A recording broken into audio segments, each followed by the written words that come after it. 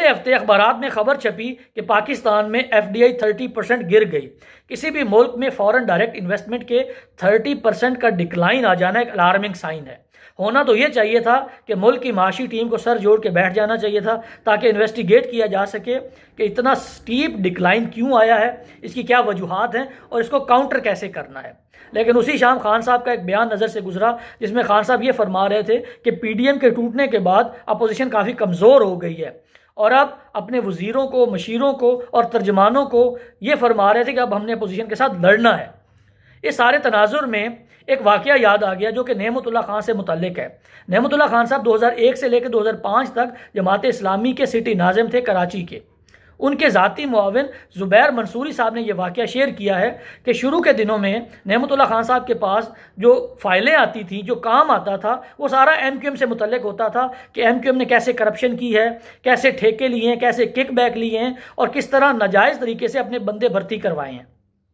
तो नहमतुल्ला खान ने चंद दिन तो इस रूटीन को ऑब्ज़र्व किया, उसके बाद उन्होंने अपनी लीगल टीम को बनाया और ज़ुबैर मंसूरी साहब ये कहते हैं कि नहमतुल्ला खान ने अपनी लीगल टीम को कहा कि जितने भी केसेस हैं, इनको आपने as per the law as per the legal proceeding इनको आपने परस्यू करना है और मेरी तरफ़ से आपको स्टैंडिंग इंस्ट्रक्शंस हैं कि आपने किसी भी केस में मेरी अगर इनपुट चाहिए हो तो आप मेरे बिहाफ पे फैसला कर सकते हैं।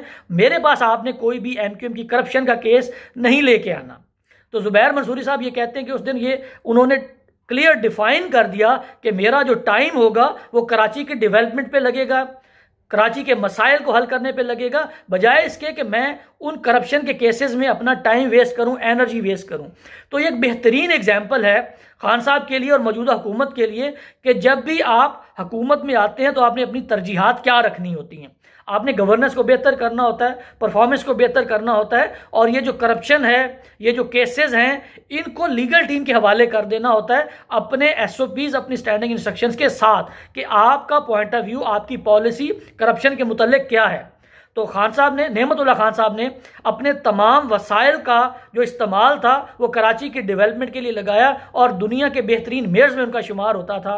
तो खान साहब की हुकूमत को भी ढाई साल हो गए हैं तो इमरान खान साहब को भी शायद ये अब फैसला कर लेना चाहिए कि उन्होंने ढाई साल में क्या गेन किया है।